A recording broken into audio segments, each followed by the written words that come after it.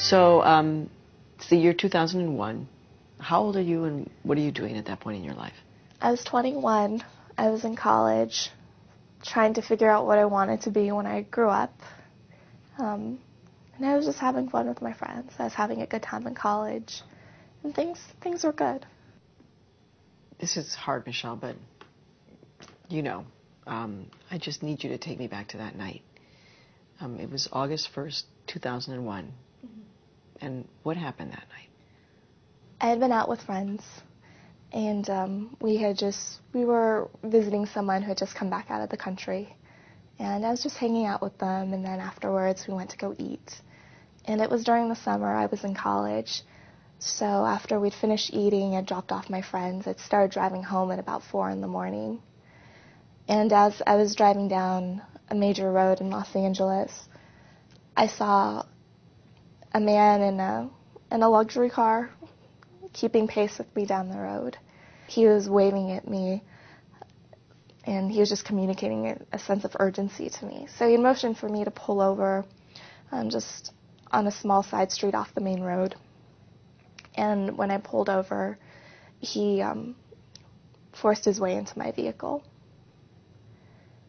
and um, over the next next hour he he um, beat me a little and um, sexually assaulted me and um, he eventually did rape me.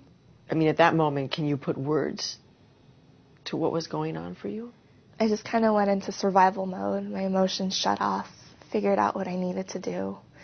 Um, i made sure to get his license plate during the course of course of that time um, any fabric or um, any other sort of, you know, hair or whatnot that I could get from him while I was in there. Um, I tried to think of different ways out to prevent that part from happening, but he didn't allow that.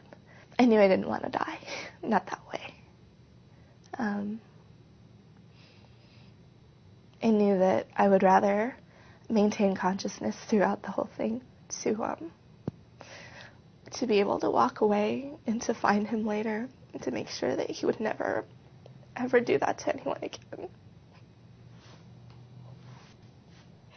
So even at that moment, you understood that your role as a victim at that point was to gather evidence. Absolutely, because it would be the only thing that I had to stand against in court.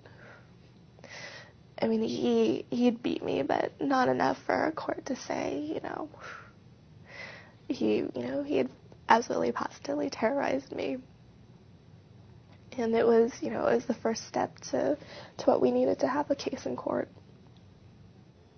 Are you okay talking about it? Yeah, I am. Even though it makes you cry. Mm-hmm. You're in a moment of trauma, and after he leaves your car, what do you think of? What goes through your mind then? I was scared. I was scrambling for a pen and a paper because I was afraid that I was going to forget his license plate um, and the things that he had talked about with me, you know, things that would identify him. Um, I just started writing those down and I, I was trying to think of where a police station was and I remembered. And what happens when you get to the police station? What do they say to you? they they brought me inside and they just you know sat me down and tried to calm me and then um, they said that they had contacted the um, the detective and that he was going to come to the station shortly. And they said that they would take me to a, a rape treatment center after they were done interviewing me. And um, they did do that. They drove me down there. And they um, at the rape treatment center they had a counselor as well as a nurse. When they explained to you what was going to happen with the rape kit, the actual test, what did you think at that moment?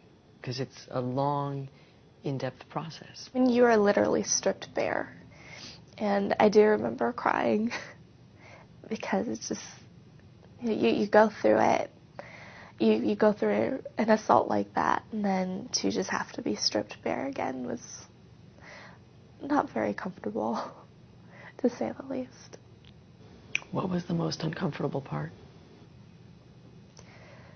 I think just maybe even just getting to that point.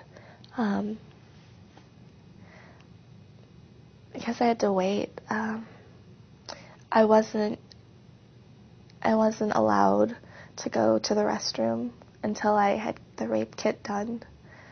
Um, I couldn't shower, um, wash my hands or anything. I could still smell him on me, and I just had to wait. Um, and then, you know, when I got there, I had to remove all of my clothing and have them take the DNA that they needed to from the necessary parts of my body. And, you know, just to go through that whole experience is, um, you know, it, it doesn't leave you with much dignity. And yet, in your head, you were saying to yourself, what, as you were getting the rape, t- rape kit tested and all? That it needed to be done. Um, and that this was, you know, this is just what I needed to go through to be able to come anywhere close to putting him in a place where he wouldn't be able to do this to anyone else.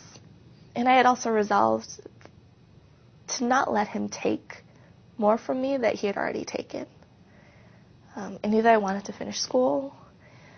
I knew that I wanted to do well in school. And um, I was also working part time and I wanted to keep doing well at my job. And those are things that I didn't want to allow him to have. Sometimes people say, well, you know, if it's been eight years, you heal. Can you tell us what it's like? Can you heal from something like this ever?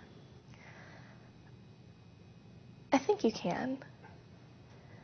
You heal to, uh, for myself, I healed to a point where I have moved on with my life. Um, this was something that happened in my life that helped to shape part of who I was, but not to define me. And knowing that, I was able to move forward. Um, and a lot of that was having closure through the trial that had happened as well. Um, but I think the healing will be there, but there are still consequences to to my actions. Even though the outcome was good, I realize that there are certain things that I'm going to have to carry with me for the rest of my life. For example, when he gets released from jail, you know, I, I knew that I was probably going to have to look over my shoulder to some extent for, for the rest of my life. As you know, as long as as long as he's alive. What does that do to you? I don't care as much about what he did to me, um, as long as he doesn't do it to anyone else again. You were able to have closure because there was evidence, there was a trial, there was a conviction. But what do you think you would be feeling now if your rape kit had never been tested? If it had been on the shelf for year after year after year? I think I'd be a very, very different person. Um, knowing knowing where he was and what was going on in terms of the legal system definitely helped me to kind of cross that threshold over into beginning to heal, to be able to begin to go on with my life. To know that he was still out there, potentially hurting people, um, and never knowing, you know, is he going to show up at my doorstep one day? I mean, that that would that would have been such such a burden and a hindrance on my life. And you know, I, I can't even begin to imagine how how my life would have turned out had you know my rape kit not been been analyzed and used in court.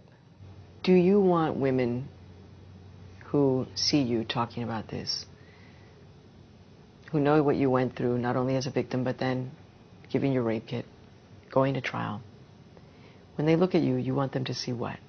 Um, but I want women to see that there is hope and that there there is a way to be able to regain joy in our lives regardless of the things that happen to us.